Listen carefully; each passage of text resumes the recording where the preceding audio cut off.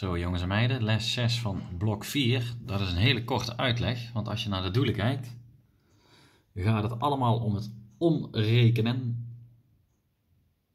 van lengtematen. Ja, en voor het omrekenen van lengtematen, heel makkelijk, daar hebben wij dit schema voor. Uh, het schema zal ook naar voren komen in de sommen. Dan staat er bijvoorbeeld ook bij waar of niet waar. En dan moet je dus kijken of klopt wat er staat.